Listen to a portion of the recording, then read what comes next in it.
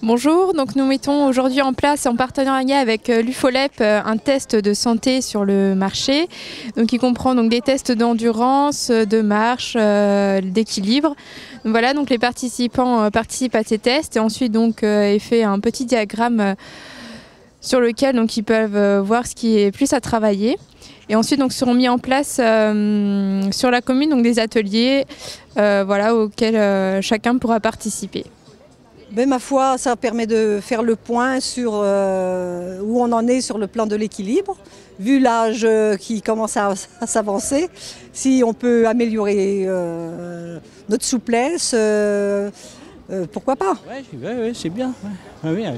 Ça, permet de, de, savoir exactement ce de quoi on est capable.